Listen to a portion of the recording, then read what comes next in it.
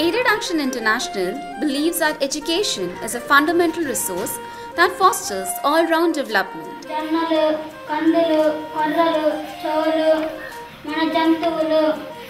In the last three decades, it has been emerging as an active player in social development and is expanding not only geographically but also thematically, reaching out to the neediest section of the society. We promote a participatory process and involve our stakeholders who share common vision and mission in the planning of our orientation. The Etats Généraux or ETG is a process where we collectively construct our future orientations.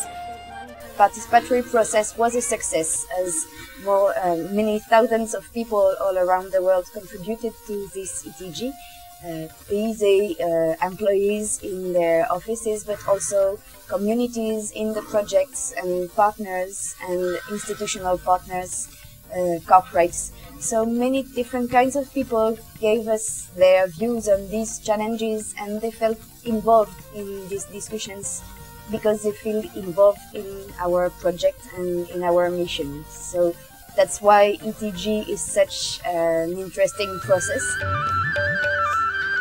The second ETG, which was in 2004, placed the ground for the adoption of new methods, approaches, and operations for the organization. Development actors का मतलब ये है कि जो जो development काम में जुड़े हुए जो लोग हैं जो संस्थाएँ हैं जो इंस्टीट्यूशंस है वो और उनके साथ में पार्टनरशिप हम लोग भी मानते हैं कि जैसे एक कहावत है कि अकेला चुनाव भाग नहीं हम जिन क्षेत्रों में काम कर रहे हैं।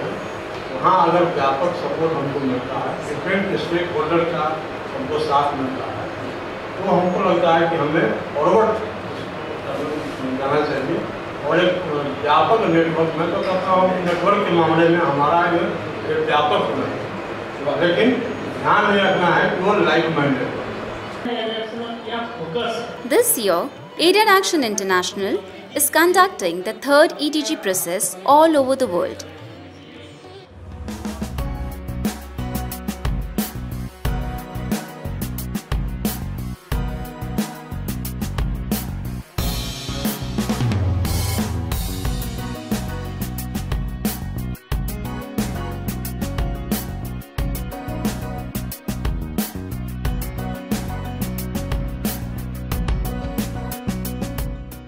These three themes are quite relevant in the changing paradigm of development, where we see multiple actors coming into the picture, into the development sector, and it was crucial for Aide et Action to understand what uh, direction it should take in the fourth, uh, in the uh, next four years.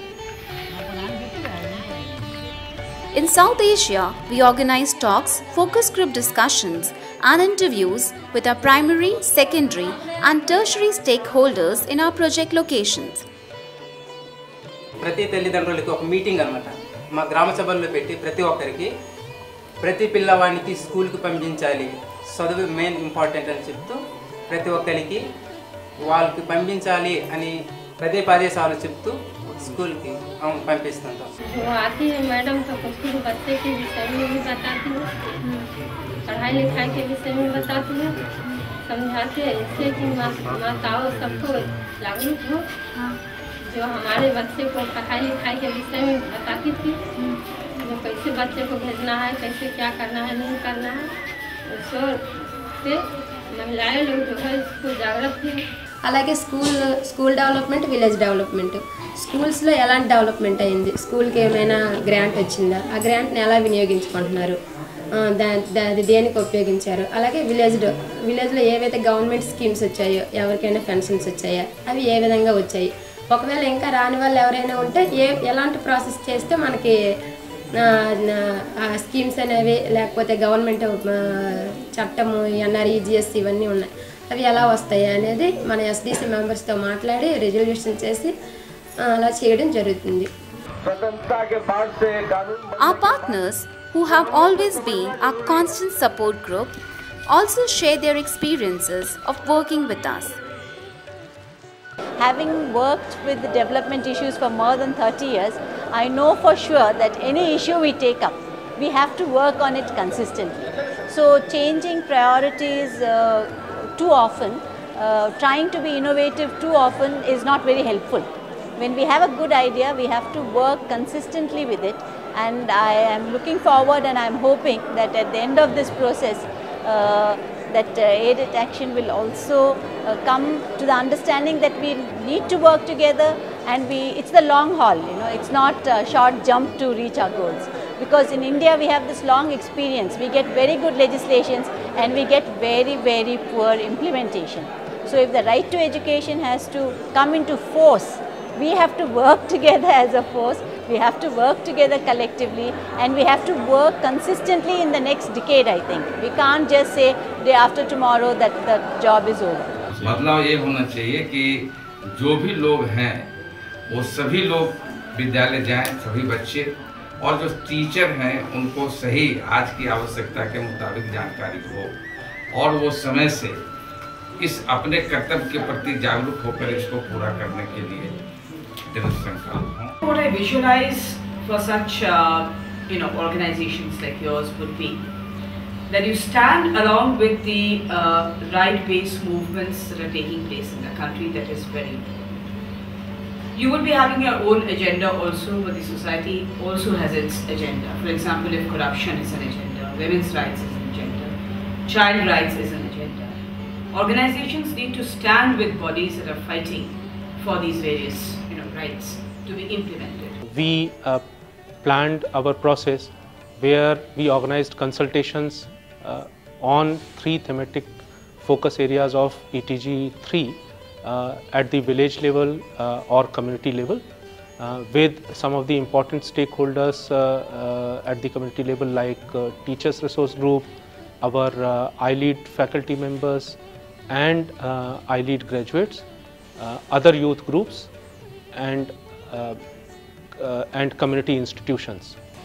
Uh, the second stage uh, of this consultation included uh, stakeholders uh, who were involved uh, at different other levels uh, in the partnership uh, at the regional level uh, within India, Sri Lanka and Nepal. And the third level uh, of consultations took place where uh, all these uh, deliberations were synthesized and presented uh, to a larger group to have a uh, thinking at the South Asia regional level. Now this uh, analysis will be uh, presented to the uh, International Congress where uh, representatives uh, of stakeholder groups will get together from all over the world wherever ADXO is working and uh, the final synthesis will be done based on that discussion. After the initial community discussions, the process was then taken to a state level consultation where the three stakeholders discussed collectively.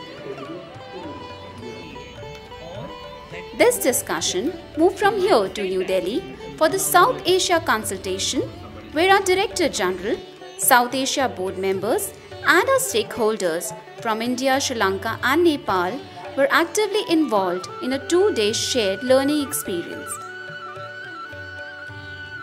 solidarity link we have to build sometimes for our uh, actions and our uh, activities and our program sometimes solidarity link will come voluntarily in those kind of things we have to be very careful the position of the organization the areas its of influence will be determined by the organization's uh, view of its own mission its capabilities and its long-term resources. L'objectif euh, des États généraux est triple. Le premier objectif, c'est bien de rendre l'association euh, totalement pertinente par rapport au contexte international. Elle doit pouvoir travailler en étant en totale cohérence avec les problématiques du monde. Et pour ça, il est nécessaire que tous les 5 ans, tous les 6 ans, elle puisse se reposer ces questions. Et c'est ça que les États généraux vont faire. Le deuxième objectif des États généraux, il n'est pas des moindres, c'est de faire participer toute l'association et tous les partenaires à cette définition des grandes orientations. C'est vraiment un mouvement participatif important qui construit un véritable projet associatif, un véritable mouvement. Et le troisième objectif, c'est que tout le monde puisse parler de la mission, puisse se former, puisse s'informer, puisse se connaître, puisse faire des synergies. Voilà les trois objectifs des États généraux.